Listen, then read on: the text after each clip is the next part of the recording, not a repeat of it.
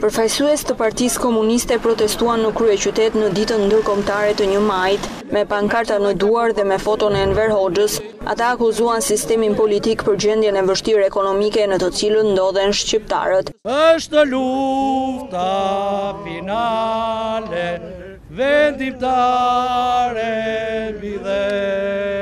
Internacionale Kundër shfrytëzimit mjerisht sot në Shqipëri klasa punëtore proletarët dhe punonjësit kanë iluzione reformiste e borgjeze dhe ata nuk ngrihen sot nuk janë ngritur shumica e tyre nuk ngrihen për të protestuar për të drejtat e tyre për liritë e tyre ka një fluks të madh emigracioni të cilat kanë shkuar nëpër botë dhe shkojnë nëpër botë, jo për uikend, por për bukën e gojës.